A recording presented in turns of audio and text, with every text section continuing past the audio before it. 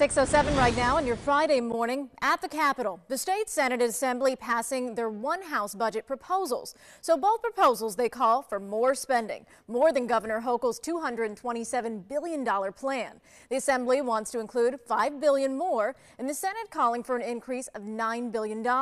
Republicans say all three plans are simply too expensive. The final budget is due April 1st. This is unsustainable. It's reckless.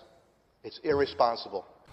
One issue drawing a lot of opposition from legislators is the governor's proposed tuition increase for SUNY. Local lawmakers saying a tuition increase would hurt many SUNY schools, including UAlbany.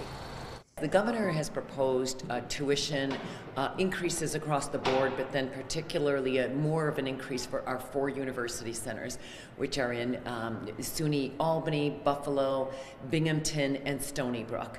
Those are our research institutions, and they really have been suffering with trying to stay competitive. Again, that final budget is due April 1st. You can stay with us, of course, for all the latest on those negotiations.